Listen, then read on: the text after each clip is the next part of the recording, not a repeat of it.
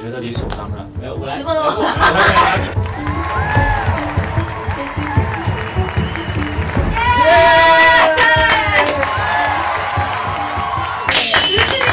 实至名归，理所当然的事情。先讲啊先讲先赢啊理所当然的事情。啊，之前之前采访我们都说不可能得逞，就是谦虚了。谦虚，对那可不得呢。对呀，不想讲那种这么话。用心。